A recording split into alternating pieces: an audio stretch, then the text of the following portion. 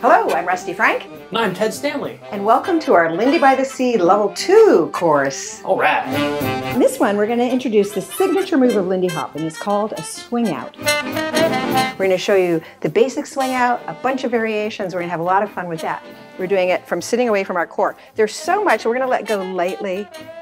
Ooh. That's how much counterbalance we had. I'm standing on my track, so I'm going to make a 180 degree turn and face my nose and toes along the track like so. I'm not I'm not doing this.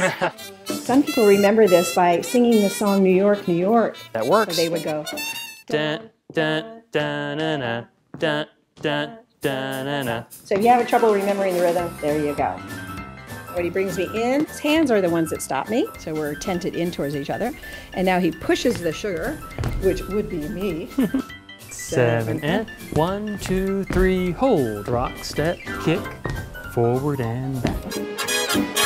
I want to confess, I have to be honest, that these moves you're going to fall in love with and you're going to work on them for the rest of your life.